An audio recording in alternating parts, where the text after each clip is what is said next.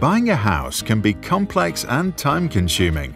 As your broker, we are here to help make the process smoother and to ensure you find the right mortgage for you. We often get asked, what's involved? Typically, the house buying process looks something like this. Establish your moving costs, find out how much you can borrow, start searching for a property, arrange a viewing, make an offer. In this initial phase, we can help by considering all your options, finding you the right mortgage, and answering any questions about the buying process. We'll get what's called a decision in principle from a mortgage provider, so you can start house hunting, knowing how much you can borrow.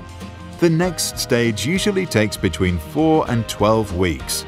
The sale will be agreed, you find a solicitor, you complete your mortgage application, your mortgage lender will get a valuation on the house you're buying. You begin the conveyancing process. The seller's solicitor will draft the contract.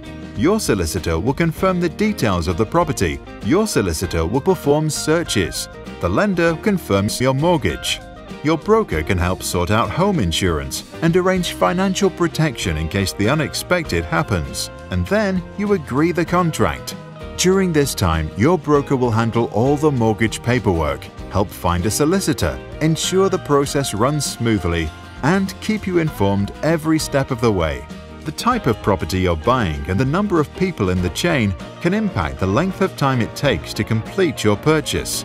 The lender then confirms your mortgage and issues a mortgage offer. You agree your moving date and exchange contracts. When contracts have been agreed, completion can be instant or take up to four weeks. You then advise everyone of your change of address and move in. We take the headache out of a complex process, allowing you to focus on the joys of home ownership. Speak to us to find out more.